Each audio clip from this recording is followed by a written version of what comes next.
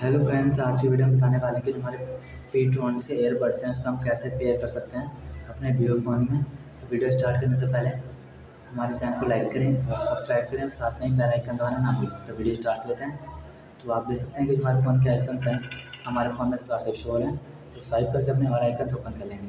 तो जो हमारे फ़ोन के ऑल आइकन्स ओपन जाते हैं तो इसमें से हमें सेटिंग साइकिल को क्लिक कर देना क्लिक करते ही जो हमारे फ़ोन की सेटिंग्स है, हमारे फ़ोन में इस प्रकार से ओपन जाती है। तो ये देख सकते हैं इसमें जो हमारा ऑप्शन आता है ब्लूटूथ ऑप्शन तो क्लिक कर देना। क्लिक करते जो हमारे ब्लूटूथ ऑप्शन है ओपन आता है जस्ट पे क्लिक कर देना। क्लिक करते जो हमारे ब्लूटूथ सेटिंग्स ओपन हो गई तो इसमें जो हमारे पी ट्वेंटी डबल के नेटवर्क है इसको हम कैसे अपने फ़ोन में पेयर कर सकते हैं। तो आप देख सकते हैं कि हमें क्लिक करना है। इस पर क्लिक करते हमें यहाँ पर रिफ्लैश कर देंगे।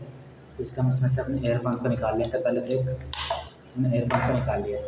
देख सकते हैं कि हमारे एयरफोन एयरबड्स हैं हमारे फ़ोन है पहले से।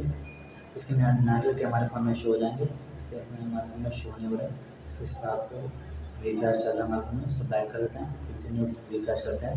तो जिसके नेटवर्क हमारे फ़ोन में शो हो चुके हैं पी टू टी डब्ल्यू के नाम से तो क्लिक कर देना क्लिक करते हैं हमारे फ़ोन में ऑटोमेटिकली ये पेयर हो जाएँगे। तो हमें थोड़े एग्ज़ाम करना पड़ेगा तो आप देख सकते हैं कि जो हमारे फ़ोन में एयरबड से एक पेयर हो चुके हैं। तो आप इसका यूज़ कर सकते हैं अपने फ़ोन में।